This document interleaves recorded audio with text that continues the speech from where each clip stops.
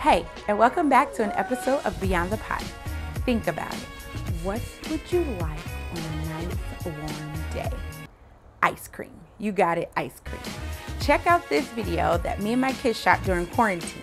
We are making ice cream not one, but two ways. Check this out.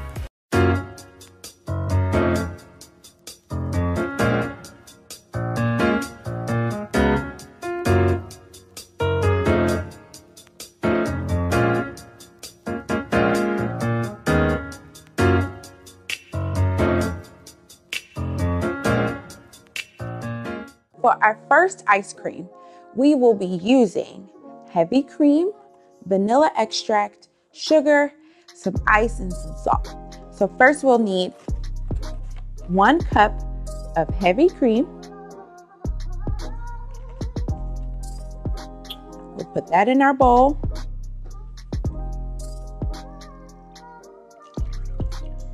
And then a teaspoon of vanilla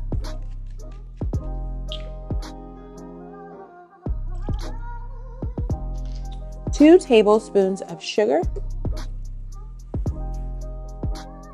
one and two. What we're gonna do, we're gonna mix this up. Mix it up real good. Make sure your vanilla and your sugar is incorporated. Really, really good. And now I have two sizes of Ziploc bags. I have a quart bag and I have a gallon bag. This quart bag is going to get the ice cream mixture. And then we're going to put it inside of the gallon bag with some ice.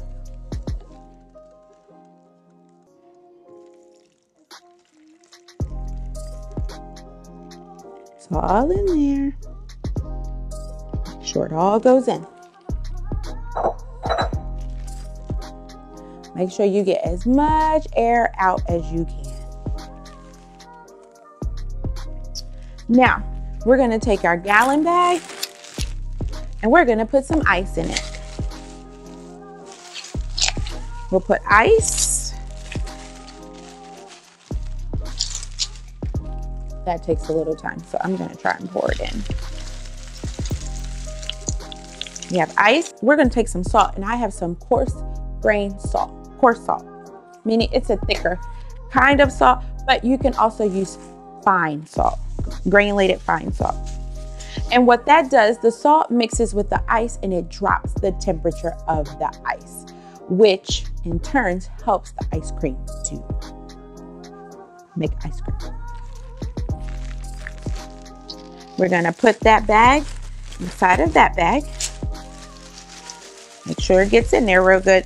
And then we're gonna put some more ice on top.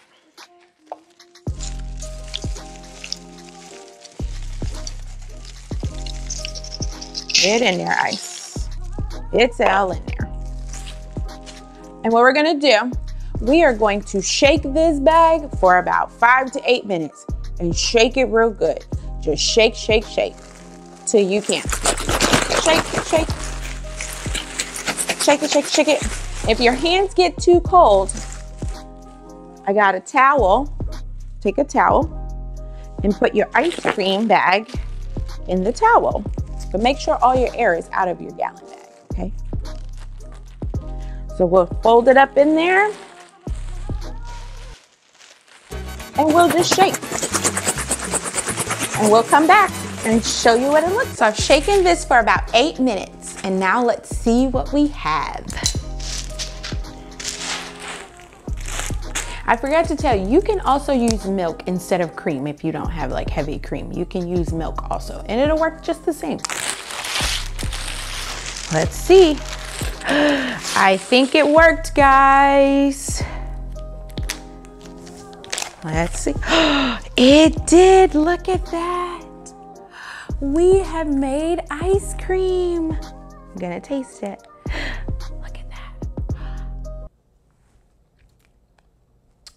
That tastes just like vanilla ice cream as if you was to buy it in the store. Now, what I would do is get some cool toppings like sprinkles or strawberries or chocolate syrup and make sundaes. So enjoy your ice cream. And now for our second ice cream. This time we'll be using our electric mixer. If you don't have anything like this, like a KitchenAid, you can use a hand mixer with the beaters on the bottom. So don't worry about that. And so first we're gonna start with, make sure your mixer is locked. So unlocked is like this, locked is like that. And so first we're gonna add our one cup of heavy cream. And we're just gonna mix that. I'm gonna mix that until it forms stiff peaks. So now, since we have soft peaks forming in our whipped cream, we're gonna add a teaspoon of vanilla.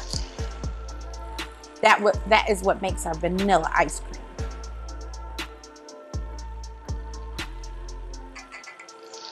So we have our vanilla in, and then we keep mixing until we get so, um, really big, thick peaks. And then we'll add our sweetened condensed milk. That's our sweetener.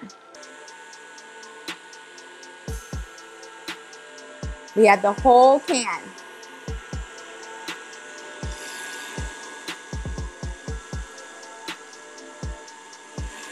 Almost there.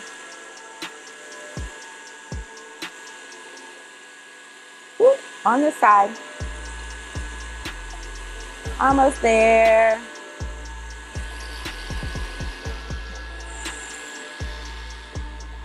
Gonna open this and scrape it out.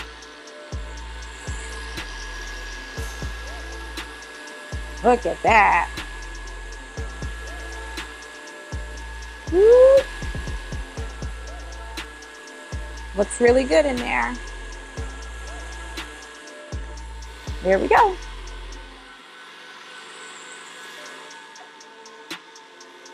It's all mixing in really well. Make sure you mix it really well.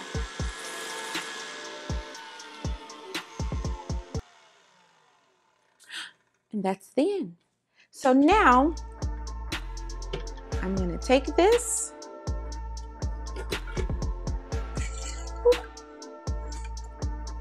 see if we can get that off. Take that off. And we're gonna pour this into our freezer container.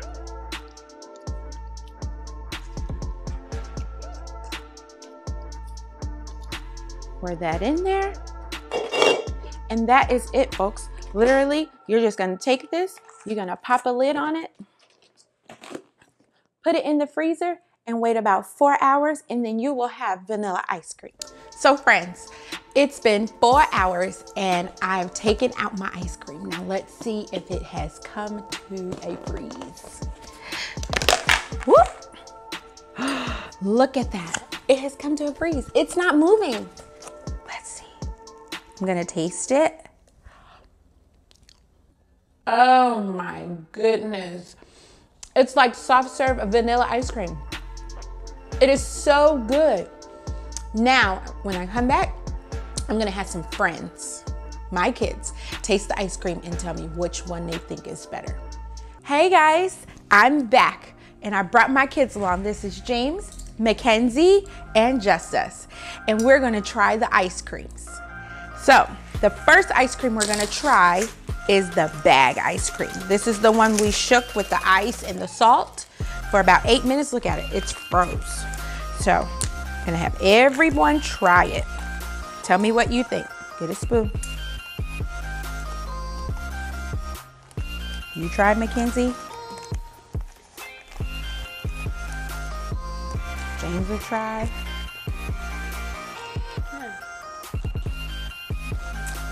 Now I'll try too.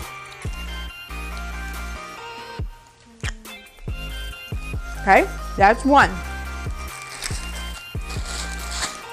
Now we're gonna try our mixer no churn ice cream that we put in the freezer for four hours. Your turn. Mmm, it's soft. Yeah, it's like soft serve. Okay, verdict. Now, Justice, which one do you like? Baggy ice cream or churn, no churn ice cream? Baggy. Baggy gets one. Mackenzie, your turn. Baggy ice cream or no churn ice cream? Baggy. Baggy gets two. James, your turn. Baggy ice cream or no churn ice cream? Baggy gets three. That is three to one, three to zero, folks. Because actually it's four, because I like the baggy better too. So baggy ice cream gets it all the way. We got fours across. Womp womp. Sorry, no churn. But it's still good. It was a great experiment. So if you want to try these at home, by all means, you can have all different kinds of toppings, whipped cream, um, chocolate syrup, sprinkles, strawberries, cherries, whatever you want. But that was our science experiment for today. So I hope you like your ice cream and tell me which one you like, the baggy or the no churn. I hope you like this episode. And I want you to let me know if you try this with your kids, even if you don't have kids, you should try it. If you like the baggy or the no churn. And don't forget to like, comment, share, and subscribe to Beyond the Pot. I'll catch y'all next time.